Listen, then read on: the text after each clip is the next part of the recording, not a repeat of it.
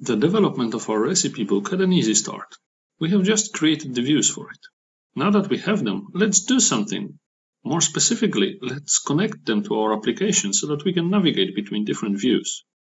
Navigator is an entity that, well, manages navigation between different views. It's not a component. There's no UI for the navigator. It works behind the scenes. Instead, the navigator determines which registered view should be shown in a designated area based on the URL of the page we are accessing. Navigator can also be used to navigate to a page programmatically.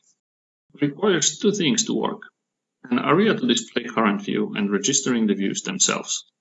The area to display views is typically a layout into which the functional part of our system, the view itself, is added. First, we decide which area will be used for displaying views. In our soon to be famous recipe book, we would like to have topmost part of the screen stay unchanged, regardless of the view we are in. We will put some important components there, like login form or information about current user, application logo, and the like.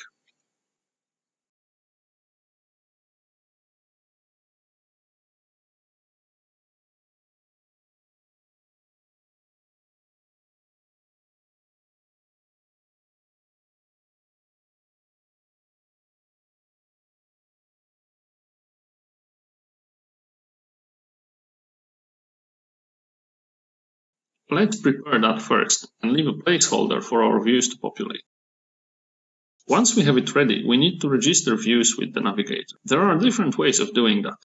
The straightforward one is to register an instance of a view with the navigator. The biggest disadvantage here is that we have created an object without being sure we are ever going to use it. In other words, we would be wasting resources if the view was huge. Instead, we can register a class of that view. It will be instantiated when we navigate to that view for the first time. This is memory efficient, but at the price of speed. If the construction of a view takes a significant amount of time, the process of creating the view will be unnecessarily delayed. Finally, we can register a view factory. This allows us to dynamically create views depending on what the URL of our application is. Naturally, this is the most flexible and most advanced solution. Our simple application does not need such a sophisticated approach. The more advanced ways of using Navigator are covered in the book of Vaadin. For now, let's register views by their classes instead.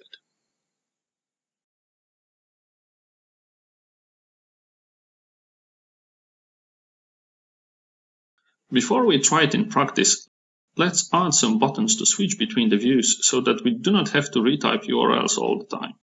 Let's create one button per view and navigate to that view when the button is clicked. We will register search view also with an empty name. We want it to be available by default when someone enters our application. We will provide a default view or a starting page later on.